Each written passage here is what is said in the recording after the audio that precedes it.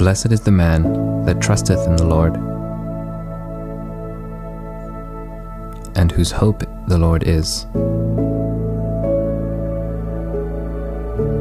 For he shall be as a tree planted by the waters, and that spreadeth out her roots by the river, and shall not see when heat cometh.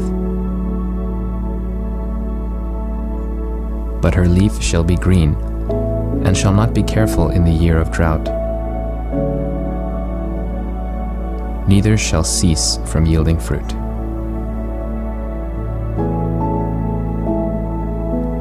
Jeremiah 17, verses 7 and 8.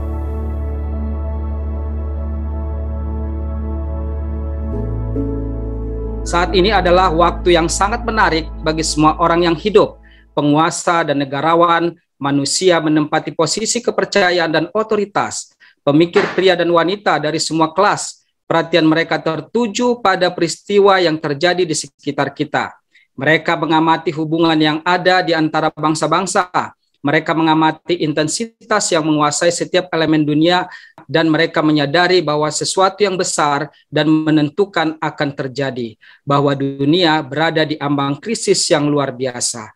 Dunia pada saat ini yaitu begitu banyaknya peristiwa yang terjadi di hadapan kita, wanita dan pria katanya baik itu yang berasal dari wanita ber, uh, semua kelas dan juga yang mempunyai suatu kepercayaan dan otoritas, mempunyai suatu posisi, memberikan perhatian terhadap apa yang terjadi di dunia. Kita melihat perang juga sudah terjadi, tanda-tanda zaman akan digenapi, kiranya kita sebagai umat Allah tidak tertutup mata kita terhadap peristiwa-peristiwa ini. Karena memang Nabi meramalkan bahwa waktunya sudah dekat. Karena itu, baiklah kita sebagai umat Tuhan selalu waspada terhadap apa yang terjadi di dunia ini karena Tuhan mengatakan kita selalu berjaga-jaga. Karena itu saya undang saudara-saudari sekalian untuk datang bertelut dan berdoa memohonkan hikmat daripada Tuhan. Mari kita bertelut dan berdoa.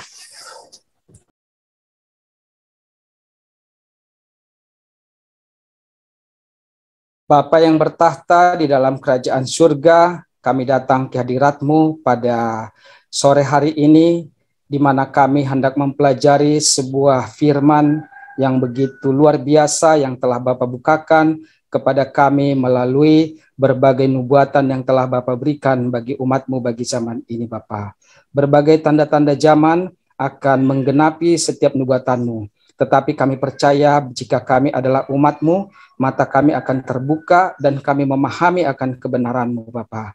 Bapa telah memberikan bagi kami makanan rohani yang bisa membuat kami membedakan mana yang jahat dan memilih yang baik. Sehingga kami suatu saat tidak terjerat di dalam jerat-jerat daripada setan terhadap pergolakan-pergolakan yang terjadi di dunia ini. Tetapi kami terus fokus untuk berjalan sesuai dengan kebenaranmu dan akhirnya kami masuk ke dalam kerajaan yang akan kau pendirikan di bumi sama seperti di sorga. Kiranya kebenaran yang kami paparkan pada hari ini yang berasal dari firman Allah, yang berasal dari kebenaranmu, kiranya itu bisa membuka hati dan pikiran kami untuk sama-sama memahami akan firman ini Bapa. Kami serahkan semuanya doa kami ke tanganmu, besertalah dengan kami, kiranya rohmu menuntun pikiran kami. Kami berdoa atas nama anakmu Yesus Selamat, kami sampaikan doa kami. Amin. Judul webinar kita pada webinar kita yang ke-33 ini adalah akar penyebab kekalahan Amerika dalam Perang Dunia ketiga. Sebelum kita memasuki kepada pembahasan inti, kita akan membuat suatu kisi-kisi daripada webinar ini, yaitu yang pertama kita akan mereview kembali yaitu tentang konfederasi, di mana ini sudah kita pelajari yaitu pada webinar yang lalu. Kemudian kita akan bahas tentang konfederasi Assyria. Mengapa Assyria harus berkonfederasi? Dan yang ketiga, apa pengaruh konfederasi Assyria itu terhadap sidang Tuhan, yaitu masih apa hari ketujuh bagi zaman ini. Kemudian yang keempat, keempat, pecahnya perang dunia ketiga. Ternyata itu ada di dalam Jakaria pasal 4. Yang kelima, kerajaan Allah berdiri di Palestina Artinya sesudah peristiwa ini maka kerajaan Allah itu akan berdiri di Palestina. Yang keenam kita masuk kepada kesimpulan. Kalau begitu kita akan mereview daripada konfederasi sedikit daripada webinar kita yang lalu. Kita lanjut. Mengenai Assyria ini sudah kita pelajari tiga webinar ya dan ini adalah webinar kita yang ketiga dengan judul tadi uh, kekalahan Assyria atau Amerika ya di dalam perang dunia ketiga itu. Tetapi pertama kali mem kita mempelajari tentang konfederasi ini yaitu yang terdapat di dalam Yesaya 7 ayat 1 sampai 9. Dikatakan di sana bahwa Israel dan Syria berkonfederasi mereka ingin menghancurkan saudaranya sendiri yaitu Jehuda. Tetapi Tuhan nggak menghendaki konfederasi mereka itu. Konfederasi di sini persekutuan ya, persekutuan keduanya ini. Karena Israel adalah pengikut Tuhan, Syria adalah kekapiran, tapi ditujukan untuk melawan saudaranya sendiri, yaitu yang mengikuti Tuhan. Dan dikatakan di dalam dua Raja-Raja 16 ayat 17, maka Israel dan Syria ini dihancurkan oleh Assyria, di mana Tuhan menggunakan Assyria untuk menghancurkan persekutuan kedua bangsa yang tidak dikendaki oleh Tuhan ini. Dan sesudah terjadi itu di dalam Yesaya 7 itu juga kita lihat adalah urutannya kelahiran daripada Immanuel. Tetapi di dalam uh, Yesaya 7 ayat 15 sampai 17 dikatakan bahwa sesudah kelahiran Immanuel itu maka akan ada konfederasi daripada Syria dan juga Israel itu dihancurkan oleh Assyria padahal itu sudah terjadi beratus-ratus tahun sebelum Yesus sendiri lahir. Nah, berarti itu menunjukkan suatu contoh saingan di mana di dalam badan kepausan sendiri terdapat kekafiran dan juga kekristenan. Tetapi kepausan pada waktu itu melakukan upayanya untuk menghapuskan umat Allah dari dari tengah-tengah bumi ini. Ya, kita bisa baca itu di dalam buku Kemenangan Akhir, bagaimana perjuangan umat Allah mereka sampai dikejar-kejar uh, menjadi orang-orang Waldensia. Nah, ini mungkin kita ketahui semuanya, tetapi pada akhirnya kepausan itu atau konfederasi antara Israel dan Syria secara rohani ini akhirnya dihancurkan yaitu melalui mulai dari Martin Luther, John Knox, John Wesley sampai terakhir sampai 1979 akhirnya dihancurkan oleh General Bartier dan dari sanalah muncul Assyria yaitu bangsa-bangsa yang lepas daripada kekuasaan kepausan itu sendiri. Nah, harusnya bangsa-bangsa ini mendapatkan berkat karena mereka sudah digunakan Tuhan untuk meng hancurkan daripada konfederasi Israel dan Syria contoh saingan itu. Tetapi di dalam Yesaya 8 ada lagi dikatakan suatu konfederasi. Ternyata Assyria ini berkonfederasi lagi, tetapi bukan seperti yang dahulu itu.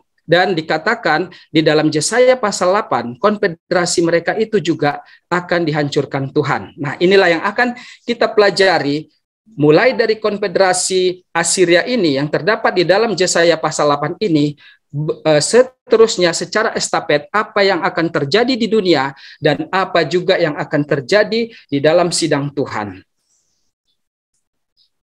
Baik, kita akan masuk uh, poin yang kedua yaitu konfederasi Assyria. Di dalam Yesaya 8 ayat 9 sampai 10 dikatakan, Bersekutulah kamu, hai bangsa-bangsa, kamu akan dihancurkan berkeping-keping. Dan dengarlah semua kamu di negeri-negeri yang jauh, pedangmu, maka kamu akan dihancurkan berkeping-keping. Rencanakanlah bersama-sama, maka ia itu akan sia-sia. Bicarakanlah perkataanmu, maka ia itu tidak akan jadi. Karena apa? Karena Allah ada bersama kami. Nah, ini adalah suatu nubuatan daripada Yesaya bahwa Tuhan tidak bersama dengan bangsa-bangsa yang bersekutu itu atau yang berkonfederasi itu. Bahkan Tuhan mengatakan bahwa mereka akan dihancurkan. Jadi mereka punya suatu rencana, tetapi rencananya mereka itu pasti akan gagal. Dan dikatakan di sini umat Tuhan harus melakukan satu usaha khusus agar Tuhan beserta dengan mereka. Nah, kalau kita tahu bahwa Tuhan Allah tidak bersama dengan mereka, tetapi bersama dengan kita, maka kita tentu tidak mau ikut terhadap rencana-rencana daripada mereka itu, yaitu ada suatu rencana untuk melakukan berkonfederasi. Mengapa Assyria itu menyerukan konfederasi? Di dalam ayat 11 dan juga 12 dikatakan, Sebab beginilah firman Tuhan kepadaku, tangannya menguasai aku, dan ketika ia memperingatkan aku, supaya jangan mengikuti tingkah laku bangsa ini. Jadi dikatakan Nabi itu diperingatkan oleh Tuhan, supaya jangan mengikuti tingkah laku bangsa ini. Tingkah laku yang apa? Yaitu yang melakukan persepakatan atau persekutuan tadi, yaitu konfederasi. Jangan sebut konfederasi, segala apa yang disebut bangsa ini konfederasi. Dan apa yang mereka takuti, janganlah kamu takuti dan jangan gentar melihatnya. Ternyata bangsa-bangsa ini melakukan konfederasi itu, melakukan persekutuan, melakukan persepakatan itu karena ada satu ketakutan ketakutan terhadap apa? Yaitu adanya bahaya totaliter komunis yang mengancam supremasi mereka. Dan kita lihat bagaimana juga sekarang terjadi perang di Ukraina, sudah mulai terjadi konfederasi-konfederasi ini. Ya, tapi nanti akan terjadi pada puncaknya. Makanya ada yang bagian blok satu, ada bagian blok yang lain dan mereka semuanya akan mencari persekutuannya supaya mereka mencari aman. Tetapi dikatakan kepada umat Allah di sini, jangan sebut konfederasi segala apa yang disebut bangsa ini konfederasi. Nah, apakah yang harus kita lakukan sebagai umat Tuhan dalam menyikapi konfederasi ini? Dikatakan tadi di dalam ayat 11 dan 12 ini, dikatakan umat Allah bukan saja diperintahkan untuk tidak ikut serta dalam konfederasi itu, tetapi kita juga harus menentangnya.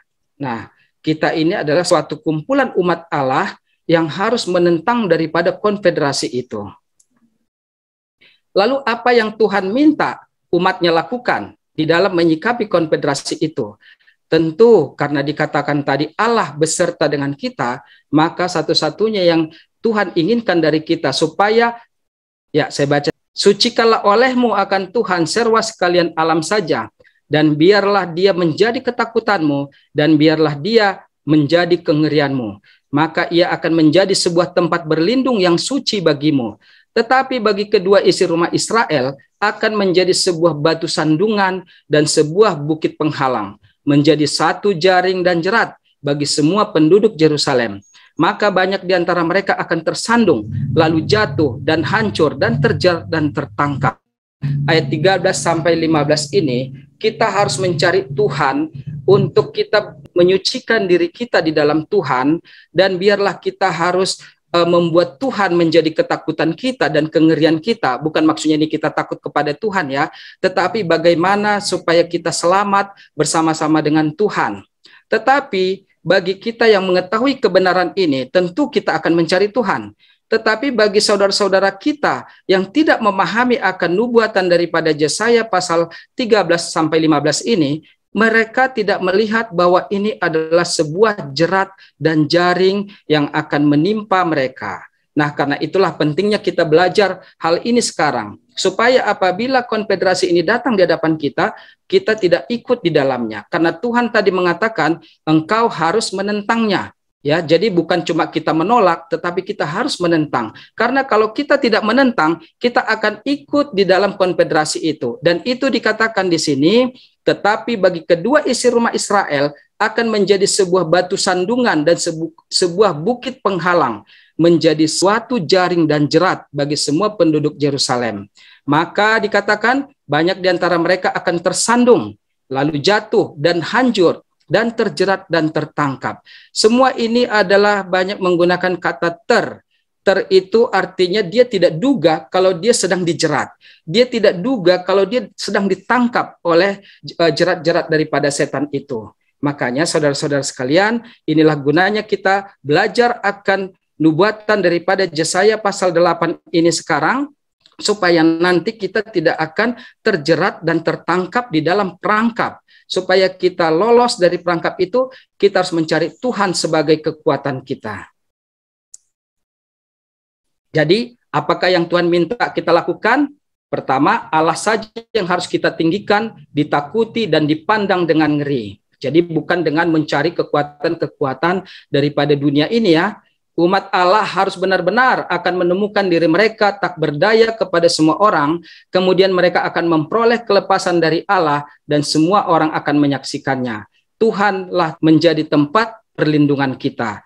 Tetapi konfederasi itu katanya menjadi jaring dan jerat bagi penduduk Yerusalem atau kedua isi rumah Israel. Ini bagi saudara-saudara kita yang tidak mengetahui ini adalah uh, suatu jaring dan jerat. Tetapi bagi kita yang mengetahui ini adalah suatu jaring dan jerat, kita tentu tidak akan mau untuk terjerat dan kita harus tahu apa yang harus kita lakukan. Apa pengaruh konfederasi Assyria terhadap sidang masa apan hari ketujuh? Di dalam Yesaya 3 ayat 25 dikatakan, orang-orangmu akan tewas oleh pedang dan pahlawan-pahlawanmu oleh perang. Apa yang dikatakan oleh roh nubuat tentang Yesaya pasal 3 ayat 25 ini? Kita lanjutkan. Di dalam Testimonies volume 1 halaman 270 dikatakan mengenai nubuatan Yesaya pasal 3. Dihadapkan kepada saya berlaku pada akhir zaman yaitu kita baca ayat 25 dari Yesaya tadi pasal 3 ditunjukkan kepada saya bahwa firman ini akan benar-benar digenapi. Perang sedang bersiap. Ya Allah, lindungilah umatmu. Jadi kita kembali ke Yesaya pasal 3 tadi orang-orangmu akan tewas oleh pedang dan pahlawan-pahlawanmu oleh perang, diamarkan di sini bahwa ini katanya akan terjadi, tetapi Ellen G. White memberikan suatu petunjuk kepada kita supaya kita berharap kepada Tuhan. Ya Allah, lindungilah umatmu sekarang. Dan apabila ini terjadi, kita harus mencari Tuhan sebagai pegangan kita. Sewaktu orang-orang Sion akan tewas oleh pedang dan pahlawan-pahlawannya oleh perang, itulah perang Assyria yang sedang berlangsung akan terjadi.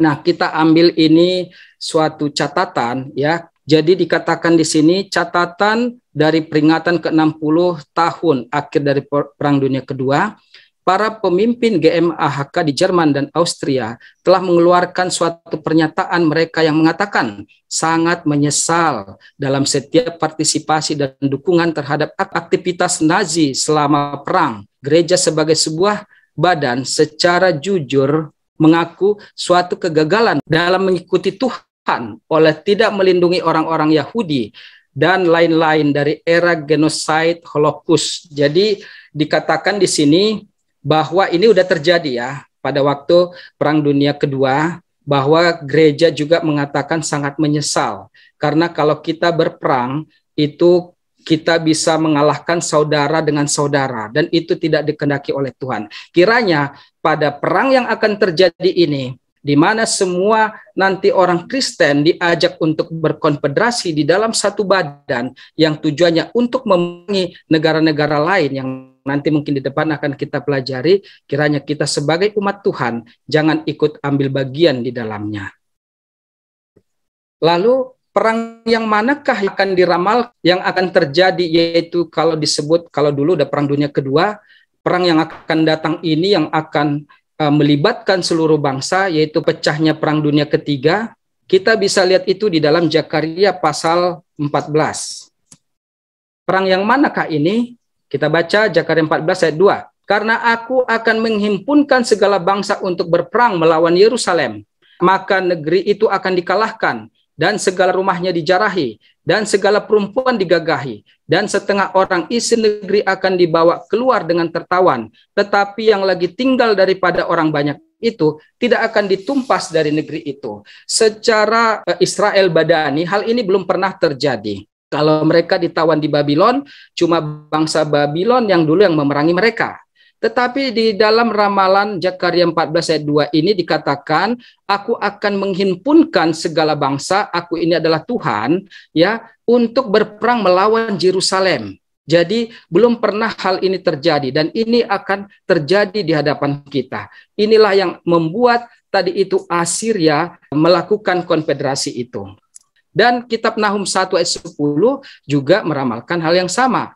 Karena sementara mereka teranyam bersama-sama bagaikan duri, dan sementara mereka mabuk seperti peminum minuman keras, maka mereka akan ditelan bagaikan jerami yang kering sekali. Nah, di sini baru sedikit dibuka tentang kekalahan Assyria itu ya. Mereka katanya ber, teranyam bersama-sama bagaikan duri. Itu adalah suatu ikatan yang sangat kuat. Baga kalau kita lihat itu ya, suatu tali yang teranyam-anyam bagaikan duri, melepasnya melepaskannya juga kita akan sulit. Tetapi dikatakan mereka akan ditelan bagaikan jerami yang kering sekali. Seperti dikatakan tadi, jangan kamu berkonfederasi karena itu akan gagal. Dan di dalam beranyam-anyamnya mereka itu dan di dalam nanti uh, perang Jakaria 14 itu dikatakan di dalam Yesaya pasal 31. Nah, di sini kita ambil judulnya Assyria jatuh dalam perang itu. Bertobatlah hai, hai orang Israel kepada dia yang sudah kamu tinggalkan jauh-jauh.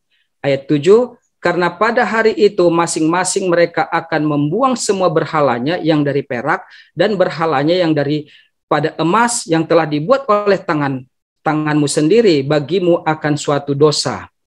Ayat 8, Assyria akan rebah oleh pedang, tetapi bukan oleh pedang orang perkasa, dan akan dimakan habis oleh pedang, tetapi bukan pedang manusia biasa. Mereka akan melarikan diri dari pedang, dan orang-orang mudanya akan ditaklukkan maka ia akan lari karena sangat ketakutan dan segala penghulunya akan lari ketakutan karena tanda alamat itu demikianlah firman Tuhan yang mempunyai api di Sion dan api di Jerusalem. Jadi dikatakan ayat 6 bangsa Israel itu dianjurkan untuk bertobat. Nah, di ayat 7 mereka itu benar-benar bertobat, membuang semua berhalanya, baik itu dari perak, berhala dari emas yang dibuat oleh tangan. Intinya mereka semua betul-betul bertobat dari semua dosa-dosanya. Kita kembali ke masa lalu bahwa orang Israel pada saat itu apabila mereka jatuh di dalam penyembahan berhala, maka mereka akan disebarkan ke seluruh dunia ini. Tuhan tidak beserta dengan mereka lagi. Tetapi pada saat uh, mereka membuang berhalanya di sini, maka katanya uh, Tuhan akan nanti akan membuat sesuatu kepada mereka ya kalau mereka membuang segala berhalanya. Tetapi di ayat 8, pada saat katanya semua umat Allah membuang berhalanya, Assyria akan rebah. Mereka itu rebah bukan oleh pedang orang-orang yang perkasa dan akan dimakan habis oleh pedang, tetapi bukan pedang manusia biasa. Mereka akan melarikan diri dari pedang dan orang-orang mudanya akan ditaklukkan. Dan di sini adalah kejatuhan Assyria itu, tetapi bukan oleh orang-orang hebat di dunia ini. Berarti oleh apa? Oleh hanya Tuhan yang melakukannya. Apa itu membuang berhala? Membuang berhala yaitu adalah membuang berhala emas dan perak adalah suatu masa dari reformasi yang menyeluruh. Suatu masa dalam mana hanya orang-orang yang menolak dosa dan yang menghayati kebenaran dan keadilan akan tertinggal di dalam sidang, tak seorang pun yang lain akan dapat ditemukan di dalam perhimpunan Tuhan.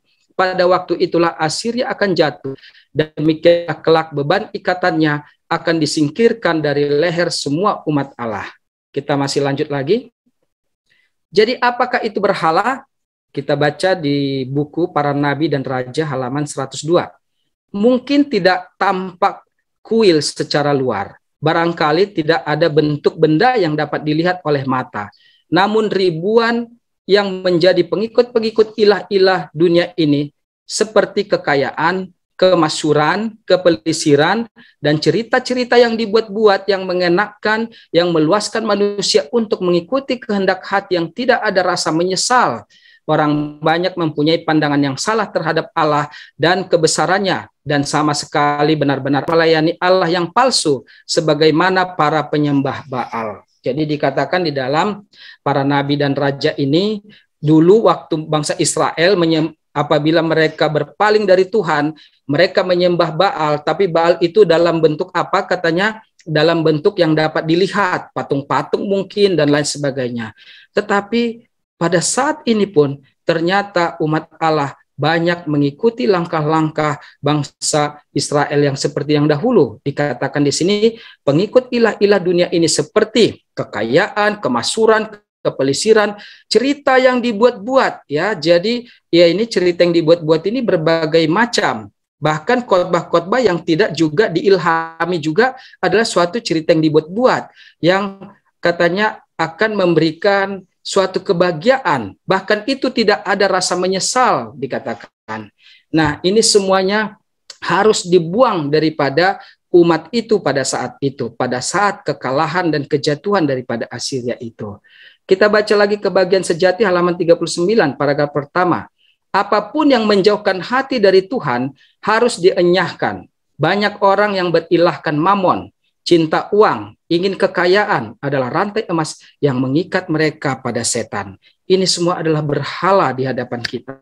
Bisa kita lakukan ini bagi kebaikan Tuhan. Tetapi salah satu apabila kita buat mamon itu jadi ilah kita, cinta uang, kekayaan, dan lain sebagainya, itu kita sedang mengikat diri kepada siapa? Kepada setan. Jadi berhala itu apa? Berhala itu adalah segala sesuatu yang menjauhkan kita daripada Tuhan.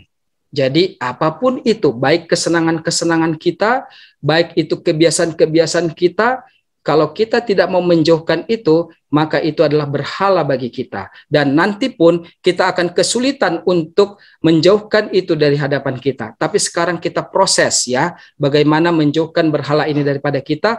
Tapi ada nanti suatu puncak yang akan membuat kita melepaskan keseluruhan daripada berhala kita itu.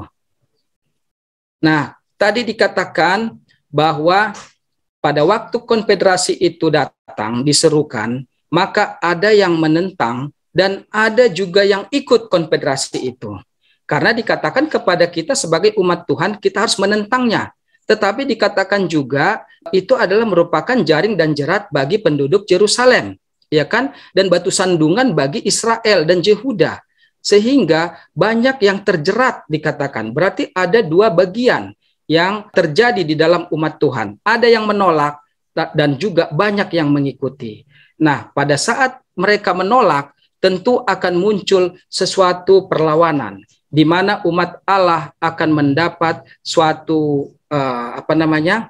suatu tekanan ya karena tidak mengikuti akan konfederasi itu. Dan di dalam tekanan itulah umat Allah ini akan bergumul. Dan di dalam pergumulan itulah nantinya umat Allah melepaskan berhalanya. Karena apa? Segala sesuatu itu tidak berguna lagi bagi mereka, tetapi bagaimana mereka ini selamat. Dan itu digambarkan di dalam Joel 2 ayat 15 sampai 17. Dikatakan, tiuplah sangkakala di Sion, adakala puasa yang kudus, maklumkanlah perkumpulan raya kumpulkanlah bangsa ini, kuduskanlah jemaah, himpunkanlah orang-orang tua, kumpulkanlah anak kamar tidurnya. Baiklah para imam, pelayan-pelayan Tuhan menangis di antara balai depan dan mesbah dan berkata, Sayangilah ya Tuhan umatmu, dan janganlah biarkan milikmu sendiri menjadi celah, sehingga bangsa-bangsa menyindir kepada mereka. Mengapa orang berkata di antara bangsa, di mana Allah mereka? Nah, ini adalah suatu sindiran kepada umat Allah karena umat Allah berada dalam himpitan, berada dalam tekanan, karena berani menentang daripada konfederasi itu. Di manakah Allah mereka? Apakah Allah mereka mampu menolong mereka? Nah, begitulah misalkan. Tetapi umat Allah ini benar-benar bergumul, mereka harus melakukan puasa yang kudus, melakukan suatu kumpulan eh, apa? kumpulan raya ya supaya mereka tidak lagi memikirkan keinginannya, tetapi mereka berseru kepada Tuhan karena mereka mendapat suatu tekanan daripada suatu penguasa di dunia ini. Dan itu digambarkan dengan suatu kesusahan Yakub. Jadi saya baca dulu nanti kita mungkin review ulang kepada cerita tentang Yakub ini. Dari buku Patriot and Prophet halaman 201 dikatakan Pengalaman Yakub sepanjang malam pergumulan dan penderitaan itu melambangkan cobaan melalui mana umat Allah harus lalui sebelum kedatangan Kristus yang kedua kali. Nabi Yeremia di dalam hayal yang kudus memandang pada masa ini berkata, telah kami dengar jerit kegentaran, kedahsyatan, dan tidak ada damai. Setiap muka berubah menjadi pucat. Oh, alangkah hebatnya hari itu. Tidak ada taranya, itulah waktu kesusahan bagi Yakub, tetapi ia akan diselamatkan daripadanya. Nah, ini bisa kita lihat di dalam webinar kita yaitu yang berjudul Pergumulan Yakub ya. Itu bisa kita lihat di dalam webinar kita yang ke-26. Jadi di YouTube bisa kita lihat. Nah, pada waktu Yakub hendak pulang, ternyata Yakub itu dihadang oleh Esau. Tetapi di belakang Esau ada 400 dibawa oleh Esau untuk menghadang daripada Yakub. Itulah yang yang membuat Yakub ketakutan. Dan di dalam ketakutan itu dia ingat segala dosa-dosanya, kemudian dia mencari suatu tempat yang khusus dan pada malam itu dia pun bergumul dengan malaikat Tuhan. Dan di sana Yakub tidak mau melepaskan Tuhan sebelum Tuhan memberkati dia. Begitulah nanti hebatnya kesusahan itu yang menimpa umat-umat Allah, di mana umat Allah hendak kembali ke negeri yang telah pernah dijanjikan kepada kita, seperti pelajaran kita di dalam beberapa pelajaran kita di dalam beberapa sekolah sahabat ini tentang tanah perjanjian itu, tetapi pada saat kita ingin kembali sebagaimana contoh kesusahan Yakub itu, maka kita pun akan dihadang ya akan menyebabkan suatu kengerian seperti yang dikatakan di dalam tulisan uh, Roh Nubuat ini dan juga di dalam kitab Jeremia pun dikatakan bagaikan laki-laki yang belum pernah melahirkan ya jadi seperti itulah kegentaran dan ketakutan umat Allah nanti. Tetapi umat Allah akan menyelamatkan mereka. Sebagaimana Yakub, umat Allah juga memberkati Yakub dan akhirnya Yakub selamat sampai di tujuan. Dikatakan tadi bahwa apakah yang menghancurkan dan mengalahkan Assyria itu di sini di dalam Yesaya 30 dikatakan Tuhan akan memperdengarkan memperdengarkan suaranya yang mulia dan akan memperlihatkan sinar yang turun dari lengannya dengan murka yang hebat dan nyala api yang memakan habis dengan menghamburkan topan dan hujan batu es karena oleh suara Tuhan Assyria akan dihancurkan yang memalu dengan tongkat.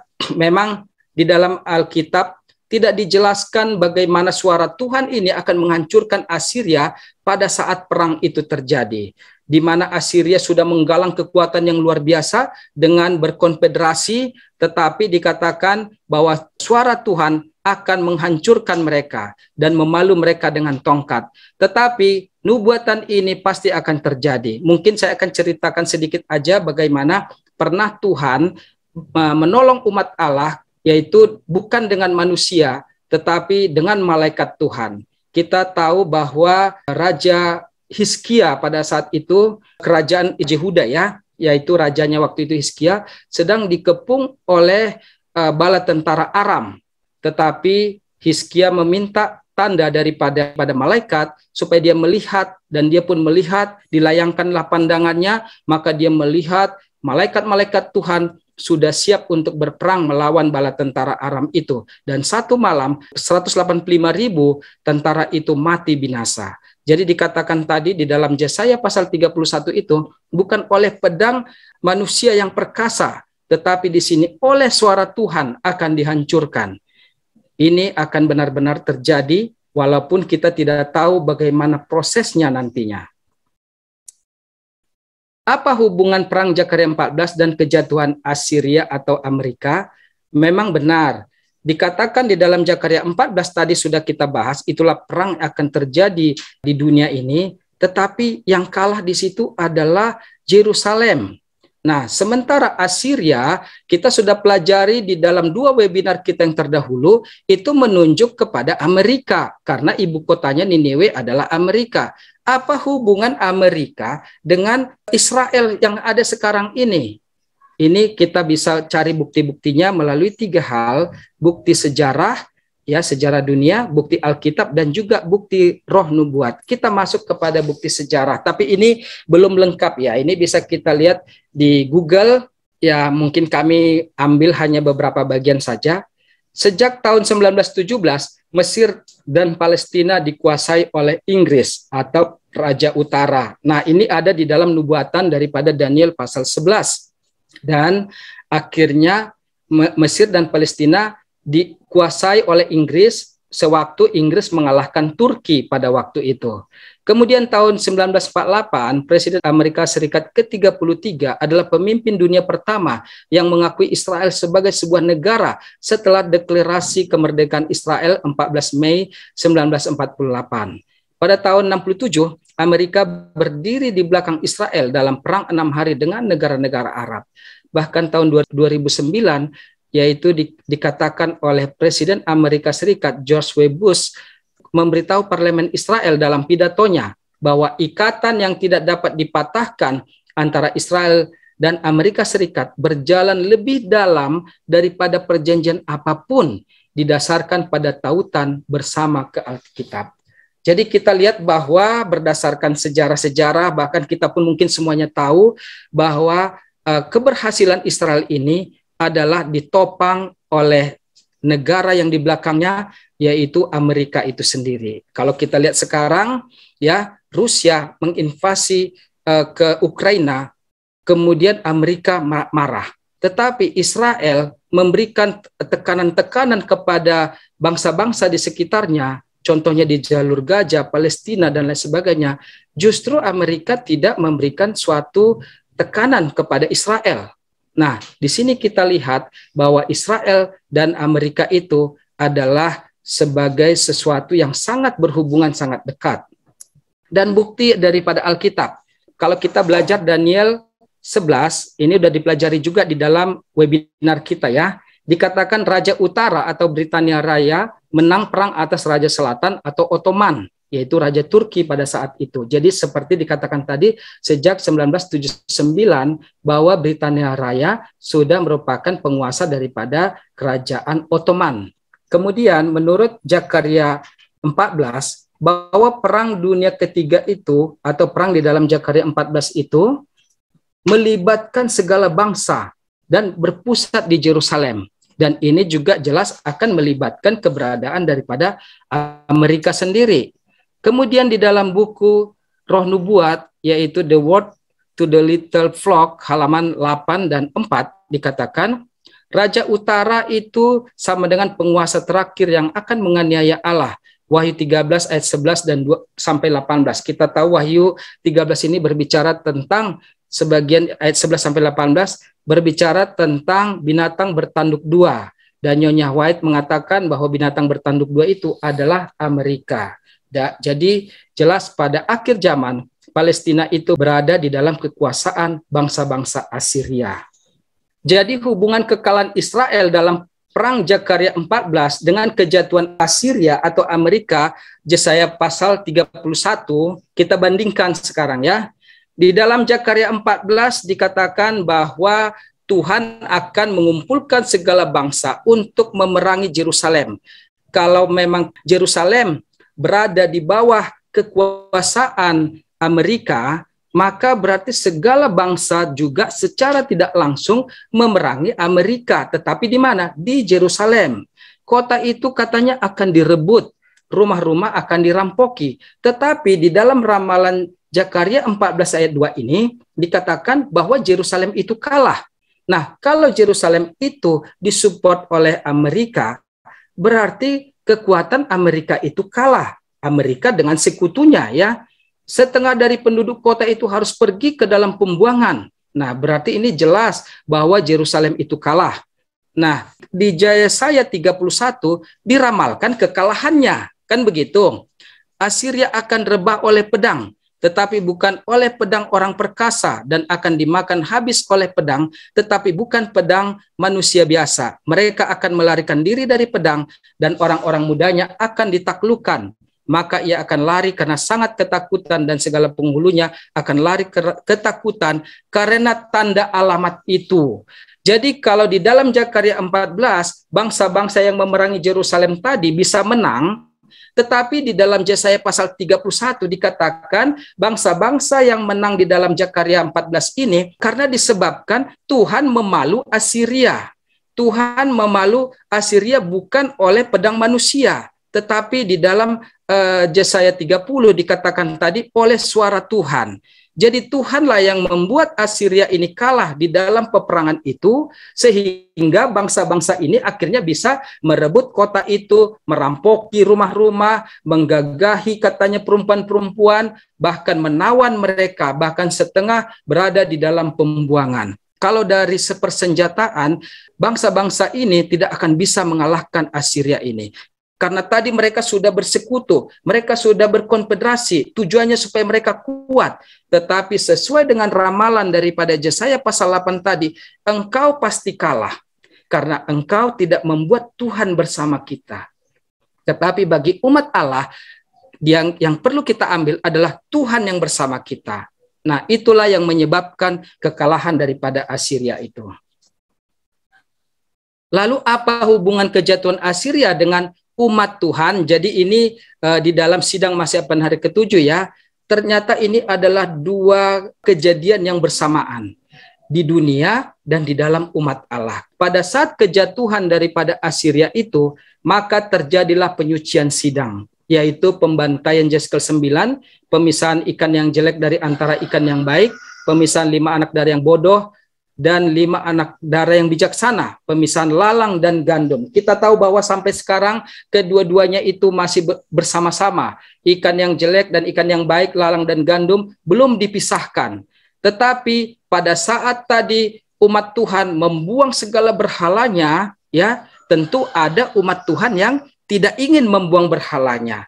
Pada saat itulah Assyria itu jatuh dipalu oleh Tuhan dengan suara Tuhan dan pada saat yang sama Tuhan pun menjalankan tugasnya yaitu melakukan pembantaian yang terdapat di dalam Jeskel 9. Nyonya White mengatakan bahwa itu benar-benar digenapi. Ini sudah kita pelajari di dalam webinar kita terdahulu. Uh, kita bisa buka di dalam YouTube yaitu penyucian sidang.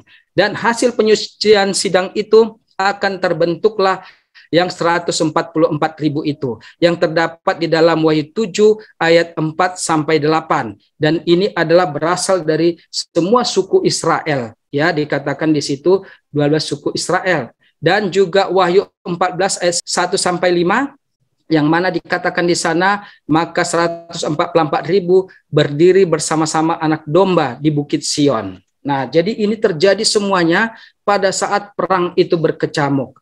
Dan kita juga tahu prosesnya itu terjadi di dalam Yesaya pasal 66.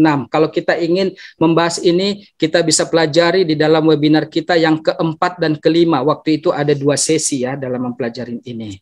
Setelah Assyria jatuh, apakah yang terjadi dengan tanah Palestina itu? Ya, Jakaria 14 ayat 1 sampai 9. Jadi tadi di mana bangsa-bangsa itu menguasai Palestina merebut dari uh, Jerusalem atau Israel atau merebut dari Assyria itu sendiri, lalu apa yang terjadi bagi tanah Palestina itu sendiri? Kita lanjutkan, kita baca ayat 3 ya, yaitu poin yang ketiga. Setelah ayat 2 tadi ya, bahwa saya ulang baca juga ayat 2-nya, Aku akan mengumpulkan segala bangsa untuk memerangi Jerusalem. Kota itu akan direbut, rumah-rumah akan dirampoki, perempuan-perempuan akan ditiduri. Setengah dari penduduk kota itu harus pergi ke dalam pembuangan tetapi selebihnya dari bangsa itu tidak akan dilenyapkan dari kota itu. Itulah menunjukkan kekalahan daripada Israel itu sendiri. Kalau tidak kalah berarti tidak akan mungkin bisa ditawan, tidak mungkin wanitanya bisa ditiduri. Itulah dibikin gambaran seperti peperangan pada zaman-zaman dahulu ya. Tapi ayat 3 Kemudian, kalau kata kemudian berarti setelah ayat 2. Tuhan akan maju berperang melawan bangsa-bangsa itu seperti ia berperang pada hari pertempuran. Pada waktu itu kakinya akan berjejak di Bukit Jaitun yang terletak di depan Yerusalem di sebelah timur. Setengah dari bukit itu akan bergeser ke utara dan setengah lagi ke selatan. Maka tertutuplah lembah gunung-gunungku, sebab lembah gunung-gunung itu akan menyentuh sisinya, dan kamu akan melarikan diri seperti kamu pernah melarikan diri oleh karena gempa bumi pada zaman usia Raja Jehuda. Lalu Tuhan Allahku akan datang, dan semua orang kudus bersama-sama dia. Lalu di bawahnya menceritakan bagaimana luar biasanya tanah itu menjadi suatu tanah yang begitu indah seperti Taman Eden ya Bahkan dikatakan di sini pada waktu itu tidak akan lagi udara dingin atau keadaan beku. Kalau mungkin di belahan bumi yang lain ada beku dan lain sebagainya. Tetapi akan ada satu hari, hari itu diketahui oleh Tuhan dengan tidak ada pergantian siang dan malam, dan malam pun menjadi siang. Jadi ayat 3 tadi sesudah bangsa-bangsa ini menang, tapi Tuhan datang berperang melawan bangsa-bangsa itu. Nah, di sinilah bagaimana skenario daripada Tuhan mempersiapkan tanah perjanjian itu untuk dimiliki, untuk dipusakai umatnya. Lalu Tuhan katanya berperang dengan menginjakkan kakinya di Bukit Zaitun. Kemudian katanya itu bahwa kamu akan melarikan diri seperti kamu pernah melarikan diri oleh karena gempa bumi pada zaman usia Raja Jehuda. Lalu Tuhan Allahku akan datang dan semua orang kudus bersama-sama dia. Kita tahu tadi dikatakan Tuhan berada di sana dan berarti umat kudus yang berasal dari luar tadi setelah terjadi penyucian sidang itu akan berlari masuk ke sana ke tanah Palestina yang telah disiapkan Tuhan yang tadi dikuasai oleh bangsa-bangsa itu di ayat 2 ya. Bagaimanakah caranya Tuhan menghalau bangsa-bangsa itu di ayat 4 di ayat 12 dikatakan inilah tulah yang akan ditimpakan Tuhan kepada segala bangsa yang memerangi Yerusalem. Artinya ini segala bangsa yang menang perang tadi, yang mengalahkan Yerusalem atau mengalahkan Assyria itu daging mereka akan menjadi busuk. Sementara mereka masih berdiri, mata mereka akan menjadi busuk dalam lekuknya, dan lidah mereka akan menjadi busuk dalam mulut mereka. Maka pada waktu itu akan terjadi kegemparan besar daripada Tuhan di antara mereka, sehingga masing-masing memegang tangan temannya dan mengangkat tangannya melawan tangan temannya. Jadi pada saat ini terjadi, Tuhan mengirimkan tulah untuk mengusir bangsa-bangsa ini dari tanah perjanjian itu atau Yerusalem itu bahkan katanya sesama mereka pun menjadi panik ya. Kita tidak tahu bagaimana cara Tuhan sehingga sesama mereka saling angkat senjata mereka saling bunuh dan katanya mata mereka membusuk daging mereka juga membusuk begitu hebatnya nanti. Begitu sekarang teknologi yang luar biasa ini bisa kita bayangkan kegemparan yang luar biasa yang akan terjadi di tanah Palestina itu. Mereka tadi berperang mengalahkan Assyria, sesudah mereka menang, Tuhan yang akan berperang kepada mereka. Jadi di sini Assyria kalah dibuat Tuhan oleh suara Tuhan. Dan bangsa-bangsa kafir ini yang memerangi Yerusalem tadi yang digerakkan Tuhan dihalau Tuhan dari tempat itu dengan tulah, dengan bela. Jadi ini tidak sama dengan tujuh bela nanti akan dilimpahkan ya kepada dunia ini. Ini berbeda lagi. Ini adalah bela yang hanya dikhususkan Tuhan bagi bangsa-bangsa yang memerangi Yerusalem itu. Baik, kita lanjutkan. Itulah yang disebut dengan pendirian kerajaan Tuhan di Palestina. Jadi itulah prosesnya bagaimana Tuhan mendirikan kerajaan itu. Sangat luar biasa. Dan itulah yang disebut dengan kerajaan Daniel 2 ayat 44 itu. Tetapi pada zaman raja-raja Allah semesta langit akan mendirikan suatu kerajaan akan binasa sampai selama-lamanya dan kekuasaan tidak akan beralih lagi pada bangsa lain. Kerajaan itu akan meremukkan segala kerajaan dan menghabisinya, tetapi kerajaan itu sendiri akan tetap untuk selama-lamanya. Jadi ini juga udah bisa kita pelajari dari kerajaan batu Daniel 2 di dalam webinar kita juga ya. Jadi inilah kerajaan yang akan diperdirikan Tuhan. Sama seperti doa yang diajarkan oleh Yesus, datanglah kerajaanmu, jadilah kehendakmu di bumi sama seperti di sorga. Ini benar-benar nyata akan terjadi sebelum kita memasuki seribu tahun untuk masuk ke dalam surga. Bisa kita baca itu Yesaya 11 ayat 6 sampai 12. Ini referensi ya bagaimana keadaan kerajaan itu yang begitu penuh damai. Yeskel 36 mengatakan bahwa Tuhan akan membawa kita ke dalam negeri yang pernah dijanjikan kepada nenek moyangmu, yaitu kepada Abraham, yaitu tanah Kanaan. Di sana katanya hati batu diganti hati daging yang menurut akan firman Tuhan. Begitu juga Jeskal 37.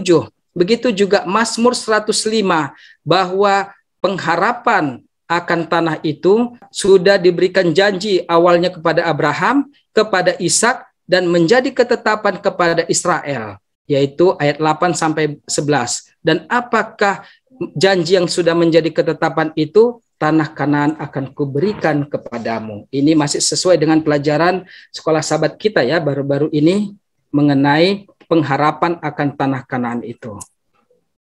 Dan sesudah umat itu berada di dalam kerajaan, ya di dalam tanah Palestina yang sudah disiapkan Tuhan tadi, di mana Tuhan juga ikut memerangi mereka dengan mengirimkan bela kepada bangsa-bangsa sehingga tanah itu di sanalah berkumpul umat Tuhan. Lalu dikatakan orang-orang benar dipanggil keluar dari Babel.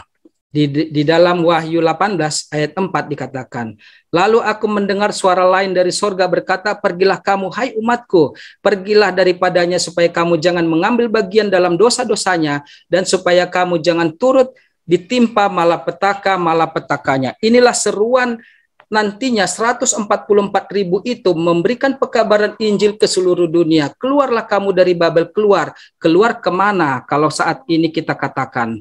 Keluar kalau tempat yang kudus itu sudah disiapkan Tuhan. Di sana tidak ada lagi percampuran lalang dan gandum. Di sana semuanya hanya orang-orang yang sudah termetrai, orang-orang yang sudah suci. Dan mereka ini memanggil domba-domba Allah yang berasal dari luar ya yang belum masuk ke dalam kerajaan itu atau sidang yang benar itu inilah yang disebut tell the word yang sebenarnya. Banyak jiwa-jiwa yang akan bertobat nantinya ya. Tetapi dikatakan keluarlah kau dari Babel. Kenapa kau tidak keluar dari Assyria karena periode Assyria sudah berlalu. Periode Assyria sudah berlalu dengan kekalahan Assyria di dalam perang Jakaria 14 itu. Dan sesudah perang Jakaria 14 itu kerajaan diperdirikan dan pada saat kerajaan diperdirikan ya di situlah sidang yang benar di situlah tempat orang-orang yang suci orang-orang yang tidak bercampur lalang dan gandum lagi setelah terjadi penyucian sidang maka di luar dari dari tempat itu atau kerajaan di Palestina itu itu adalah disebut Babel sehingga pada saat mereka memberikan suatu pekabaran ke seluruh dunia, maka seruan itu keluarlah kau dari Babel. Jadi itulah perubahan periode uh, dunia memasuki periode Babel. Berarti periode Assyria sudah berakhir. Dan pada saat periode Babel itu sendiri, ini sudah kita pelajari juga di dalam webinar kita yang lalu, Amerika itu tidak kalah secara kenegaraan, tapi dia kalah di dalam perang yang terjadi di Jerusalem itu. Nah, sesudah dia kalah, dia kembali ke negaranya. Kenapa kami bisa kalah? Ternyata di dalam Nahum 1 ayat 10 sampai 11 ini kita ambil judulnya USA mendirikan patung binatang akibat dorongan weak counselor atau nabi palsu. Jadi inilah pemicu munculnya Amerika ini mendirikan undang-undang hari Minggu itu nanti. Jadi pertama dia dikalahkan oleh Tuhan, ya, kemudian dia kembali ke negaranya, ternyata dia diikuti oleh nabi palsu yang diramalkan di dalam Nahum 1 ayat 10 sampai 11 dan juga Wahyu pasal 13. Karena sementara mereka teranyam bersama-sama bagaikan duri dan sementara mereka mabuk seperti peminum minuman keras, maka mereka akan katanya ditelan bagaikan jerami yang kering sekali. Bukankah daripadamu muncul orang yang merancang kejahatan terhadap Tuhan, orang yang memberi nasihat dursila, dari tengah-tengahnya akan muncul nantinya seorang yaitu pemberi nasihat dursila. Dialah orang yang merancang kejahatan terhadap Tuhan. Jadi kita tahu Amerika ini selama ini sebenarnya di sanalah sidang Allah berada. Harusnya dia memperoleh berkat. Bahkan di mata uangnya sendiri dikatakan Tuhan beserta kita, ya kan? Nah, kita harus percaya kepada Tuhan. Itulah semboyan daripada mereka. Dan di dalam Wahyu 13 ayat 13 dan ia mengadakan tanda-tanda yang dahsyat bahkan ia menurunkan api dari langit ke bumi di depan mata semua orang. Jadi si nabi palsu ini mulai mendemonstrasikan tanda-tanda ajaib di hadapannya.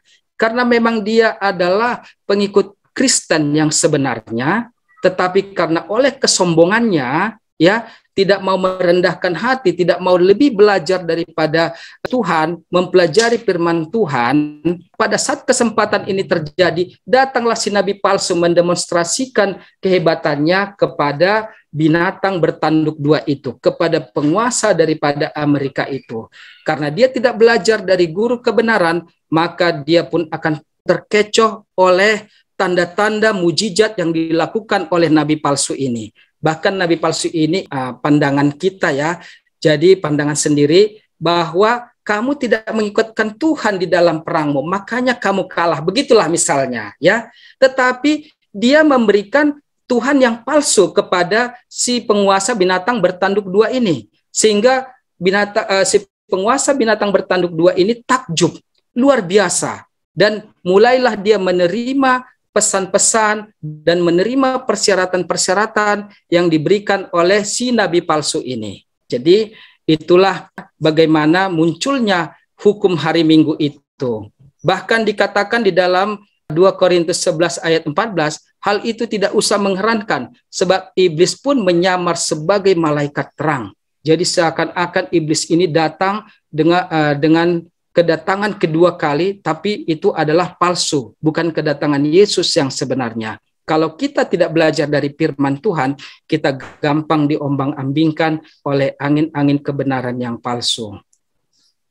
Pelajaran mengenai terbentuknya hukum hari Minggu ini dapat dilihat di dalam webinar kita yang ke-13. Jadi ini bisa kita lihat di dalam YouTube kita ya. Topiknya Wahyu 13 ayat 11 sampai 18. Judulnya 666 bukan kepausan. Baik, itulah pelajaran kita hari ini materi mengenai kejatuhan daripada Assyria dan juga bagaimana hubungannya dengan umat Allah. Di sini kami memberikan uh, sedikit kesimpulan. Kita sedang berada di dalam sidang kita pada saat sekarang ini. Maksudnya kita semua masih bebas untuk mempelajari firman Tuhan bagi kita sendiri dan sebentar lagi di hadapan kita akan ada suatu konfederasi Assyria di mana konfederasi Assyria ini ternyata melibatkan umat Allah ya jadi ada akib efeknya di dalam umat Allah dan di dalam umat Allah sendiri ada yang menentang dan ada juga yang apa? Yang terlibat. Nah, kemudian akan muncul suatu de dekrit hukuman mati bagi umat Allah karena berani menentang konfederasi itu. Itulah yang disebut dengan kesusahan Yakub itu. Pada saat kesusahan Yakub itulah terjadi, di sanalah umat Allah membuang semua berhalanya karena kita tidak peduli lagi ya tadi dikatakan berhala itu kita tidak peduli lagi itu kita hanya memikirkan bagaimana Tuhan menyelamatkan kita. Nah, sesudah terjadi itu, maka terjadilah penyucian sidang di dalam sidang. Dan hasilnya adalah 144 ribu yang nantinya akan berdiri di Bukit Sion di mana Tuhan mempersiapkan tanah itu. Tapi bagaimanakah Tuhan mempersiapkan tanah itu? Karena tanah itu sekarang sedang dikuasai oleh bangsa-bangsa uh, Israel atau bangsa Assyria juga yang dikatakan tadi kita sudah pelajari hubungan antara Israel dan Amerika. Assyria berkonfederasi karena akan pecah perang Jakaria 14. Perang ini adalah perang yang sangat besar yang akan terjadi di hadapan kita. Uh, sebelum pecah perang yang besar ini, maka akan ada dulu perang-perang yang kecil yang akan memicu terjadinya perang itu. Makanya mulai sekarang kita harus memikirkan apakah mereka sudah mulai berkonfederasi atau bagaimana. Makanya kita harus pelajari tentang pelajaran ini. Tetapi di dalam peperangan itu sudah diramalkan di dalam Yesaya pasal 31 Assyria pasti akan kalah. Ya. Jadi itu tidak akan bisa kita sangkal bahwa Tuhan yang mengatakan bahwa Assyria pasti kalah di dalam peperangan itu. Lalu bangsa-bangsa yang telah menang berperang itu akan Tuhan hancurkan lagi dengan tulah. Itulah yang terdapat di dalam Jakaria 14 ayat 5, 6 sampai 9 dan ayat 12 dan 13 dan tanah itu akhirnya kosong da, baik dari Assyria juga udah terkalah udah terusir. Bangsa-bangsa juga udah diusir dari sana karena tadi dikatakan bagaimana tulah dan juga kepanikan yang terjadi di sana. Da, itulah yang disebut Tuhan Allah mendirikan kerajaan itu di Palestina. Dan di sanalah umat Allah 144 ribu itu berdiri di Bukit Sion. Sesudah mereka berdiri di sana, mereka diberikan Tuhan kuasa untuk memberikan pekabaran ke seluruh dunia ini. Maka datanglah mereka berseru mengatakan, keluarlah kau dari Babel, keluarlah kau, kamu dari Babel. Dan dikatakan Wahyu 14, barang siapa menerima tanda binatang itu akan minum air anggur dari murka Tuhan. Tetapi Wahyu 13 mengatakan barang siapa yang tidak menerima tanda akan dihukum mati. Jadi dua uh, seruan ini nanti akan berkumandang. Dan tetapi umat-umat Allah yang rindu mendengarkan kebenaran Tuhan, mereka akan datang berduyun-duyun untuk memasuki uh, kerajaan di Palestina itu. Seperti yang dikatakan di dalam Jasaya pasal 2 ya. Bisa kita baca itu Jasaya pasal 2 pada saat itu katanya gunung rumah Tuhan akan ditinggikan melebihi daripada gunung-gunung dan bukit-bukit. Banyak bangsa-bangsa mengatakan, "Ayo, ayo naik ke gunung rumah Tuhan, ke rumah Allah Yakub." Ya, supaya dari sana kita memperoleh pengajaran. Begitu hebatnya tell the word yang sebenarnya itu dan di sanalah nanti umat Tuhan akan dikumpulkan Nah, sesudah umat Tuhan dikumpulkan, ini tambahan sedikit daripada kesimpulan ini, ya. Sesudah umat Tuhan nanti dikumpulkan di satu tempat itu, tutup pintu kasihan semuanya bagi dunia, maka setelah tutup pintu kasihan, umat Allah berada di dalam kerajaan, maka dunia ini akan dijatuhi dengan tujuh bela. Nah, bela pertama sampai ke tujuh dan lain sebagainya. Jadi pada saat bela itu datang, umat Allah tidak kena karena umat Allah sudah dikhususkan di dalam satu tempat, yaitu Palestina, tanah Kanaan, tanah perjanjian yang sudah dijanjikan Allah mulai daripada Abraham sampai seterusnya dan saat inilah kita miliki sampai selama-lamanya. Dan sesudah itu datang tujuh bela, akhirnya Tuhan menjemput umatnya yang suci. Dari mana? Dari tanah perjanjian itu juga. Lalu kita pun semuanya naik ke sorga uh, selama seribu tahun. Itulah kesimpulan daripada uh, webinar kita. Apa himbauannya bagi kita sekarang? Selagi uh, konfederasi ini belum datang, selagi perang Jakarta 14 ini belum muncul di hadapan kita. Sekaranglah waktunya bagi kita di saat dunia dalam keadaan tenang untuk datang secepatnya berhubungan dengan matahari kebenaran. Dalam webinar kita yang lalu yang membahas tentang dadi dan madu, di mana dadi itu sudah melimpah dibagikan kepada kita agar kita tetap bisa berjalan di dalam terangnya Tuhan. Sehingga kita bisa memilih yang baik dan menolak yang jahat. Dan akhirnya kita tidak akan terperangkap dan terjerat seperti yang sudah dijelaskan pada webinar kita yang di slide yang di atas tadi. Dan Yesaya 55 ayat 1 juga mengatakan, Hai, ayo, hai semua orang, hai yang haus, marilah dan minumlah air, dan hai orang yang tidak mempunyai uang, Marilah, terimalah gandum tanpa uang pembeli dan makanlah juga anggur dan susu tanpa bayaran. Sekaranglah saatnya kita datang berhubungan dengan kebenaran ini. Ini semuanya diberikan gratis kepada kita. Karena di dalam Yesaya 5, 5 ayat 1 katanya, terimalah gandum tanpa uang pembeli dan makanlah juga anggur dan susu tanpa bayaran. Semuanya kebenaran ini diberikan free, diberikan gratis kepada umat yang haus dan rindu akan kebenaran. Jadi di sini juga kami mempunyai banyak buku-buku ya yang membahas tentang perang Assyria ini, tentang kejatuhan daripada Assyria ini, perang Jakaria 14 ini. Jika saudara berminat bisa menghubungi kami segera, saudara bisa mencantumkan nomor telepon atau nanti kami ada telepon di sana jika saudara berminat untuk bagaimana mendapatkan penjelasan tentang hal-hal yang akan terjadi di hadapan kita, saudara juga bisa menyimpan telepon itu dan bisa menghubungi kami kapan saja. Pelayanan ini kita berikan semuanya gratis kepada saudara karena Tuhan yang memang mengatakannya. Baik, sampai sekian pemaparan webinar kita pada sore hari ini. Kiranya webinar ini bermanfaat bagi saya dan juga bagi saudara supaya kita semuanya akhirnya tidak terjerat di dalam jerat-jerat setan itu tetapi kita bisa masuk ke dalam kerajaan itu dan semuanya kita selamat. Itulah harapan saya dan harapan kami semuanya kepada saudara-saudara sekalian. Terima kasih selamat sore